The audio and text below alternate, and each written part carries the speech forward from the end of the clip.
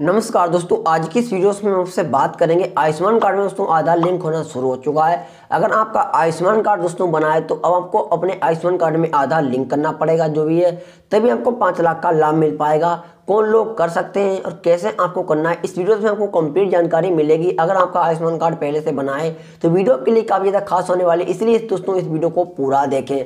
लेकिन छोटी सी गुजारिश करना चाहूँगा दोस्तों, अगर अभी तक आपने इस वीडियो को लाइक नहीं किया तो प्लीज़ यार वीडियो को लाइक कर देना।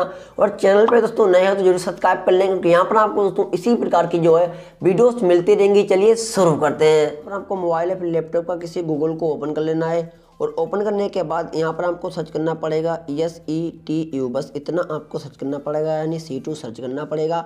उसके बाद यहाँ पर आपके सामने पहला लिंक आ जाएगा सी to P M J A Y, इसी पर आपको क्लिक करना पड़ेगा। क्लिक करने के बाद आप ऑफिशियल वेबसाइट पर आ जाओगे सी टू की। इस तरीके से पेज खुलेगा, बस थोड़ा नीचे के लिए स्क्रॉल करना पड़ेगा। स्क्रॉल करने के बाद ऑप्शन यहाँ पे मिल जाएगा do your K Y C, यहाँ पर क्लिक करना पड़ेगा। क्लिक करने के बाद इस तरीके से दोस्तों जो है पेज खुल के आ जाएगा। अब दोस्तों, यहाँ से लॉगिन कैसे करना है? लॉगिन करने के लिए दोस्तों, अगर आप एक बिल हो यानी सी बिल हो, जब भी लॉगिन कर सकते हो। अगर आप एक इंडिविजुअल व्यक्ति हो दोस्तों तो अभी लॉगिन नहीं कर सकते क्योंकि पोर्टल में थोड़ी प्रॉब्लम चल रही है। तो सी के द्वारा दोस्तों लॉगिन होता है। तो अगर आप सी बिल हो तो सी कनेक्ट पे क्लिक करना है। उसके बाद इस तरीके से पेज आ जाएगा। यहाँ पर आपको अपनी सी आई देना है। नीचे यहाँ पर आपको अपना पासवर्ड देना है। और यहाँ पे जो कैप्चा आ रहा है, जो इस वाले बॉक्स में देना है, और यहाँ पर आपको साइन इन के बटन पर क्लिक करना है। देखिए दोस्तों, यहाँ पर आपके सामने पोर्टल लॉग इन होकर आ जाएगा। देखिए यहाँ पे इधर साइड में आपको सी एस मिल जाएगी और यहाँ पे सारी सर्विसेज़ मिल जाएँगे। थ्री डॉट पर क्लिक करोगे, देखिए यहाँ पे सारी सर्विस आयुष्मान कार्ड की आ चुकी है।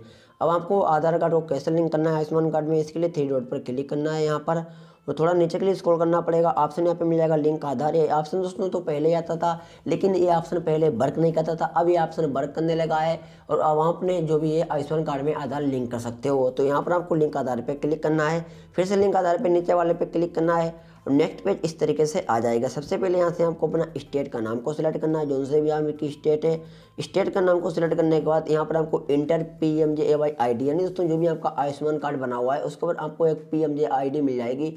वो यहाँ पर आपको देना पड़ेगा और गेट डिटेल्स पर क्लिक करना पड़ेगा। देखिए दोस्तों जैसे यहाँ पे मैंने P M J Y I डाली और गेट डिटेल्स पे क्लिक किया तो यहाँ पे नो रिकॉर्ड फाउंड आ रहा है। देखिए दोस्तों, यहाँ पर किनका लोगों का जो भी आयुष्मान कार्ड से आधार लिंक होगा, देखिए, अगर आपका आयुष्मान कार्ड पुराना बना हुआ है और अपने आधार कार्ड में कुछ ना कुछ करेक्शन करा दिया, नाम चेंज करा दिया फिर कोई और चीज़ चेंज करा दिए तो अब आपको जो भी अपने आयुष्मान कार्ड में जो भी आधार लिंक करना पड़ेगा। अगर आपने न्यू आधार कार्ड भी बनाया होगा और अभी आप लिंक करने आओगे तो यहाँ पर नो रिकॉर्ड फाउंड इसी तरीके से आ जाएगा। तो अगर आपका पुराना आयुष्मान कार्ड बना है और कुछ ना कुछ अगर आपने आधार कार्ड में करेक्शन कराया है, जब आई डी डालोगे और गेट डिटेल्स पे क्लिक करोगे तो जो भी आपके आयुष्मान कार्ड में डाटा होगा, वो आ जाएगा। उसके बाद वहाँ पे आपको आधार नंबर देना पड़ेगा। आधार नंबर डालने का ऑप्शन आ जाएगा। Get O T P fingerprint जो भी है, लगाना पड़ेगा।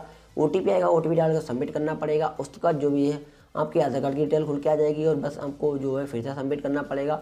और आपके जो भी है आयुष्मान कार्ड में आधार लिंक हो जाएगा आधार कार्ड में डाटा होगा, वही आयुष्मान कार्ड में जो भी है अपडेट हो जाएगा दोस्तों। तो इस तरीके से जो भी है, आधार कार्ड लिंक कर सकते हो। आयुष्मान कार्ड में अगर यहाँ पर आपका नो रिकॉर्ड फंड आ जाता है तो आपके में लिंक नहीं है मतलब लिंक नहीं होगा।